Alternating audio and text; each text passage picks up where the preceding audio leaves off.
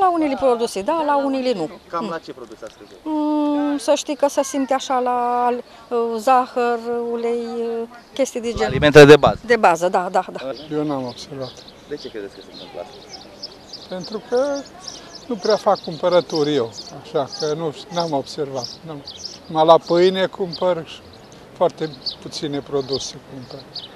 Da, au- prețurile au scăzut. În general, unde au afișat corect, adică supermarketurile. Nu? De ce? În prealabil s-au mărit prețurile și au rămas tot la prețurile lor. De ce credeți? Eu știu că unii comercianți apelează la practici de genul ăsta.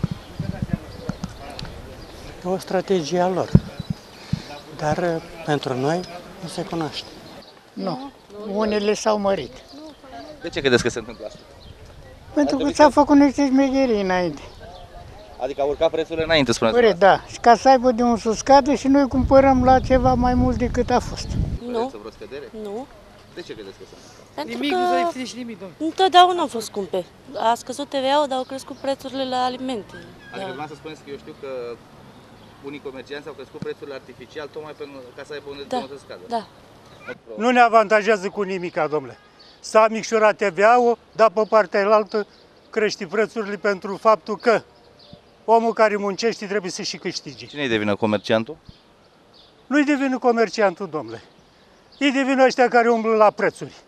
Pe cine umblă la prețuri? Pe cine? Doar nu umblăm noi. Guvernul umblă. N-am făcut prea multe cumpărături din uh, supermarketuri, eu, dar n-am observat. N-ați observat. Nu prea. Prețurile sunt aceleași? Aproximativ. Observă. E semnificativă? Da, da, e părerea mea că re- guvernul ăsta trebuie păstrat pentru că e pe un drum bun.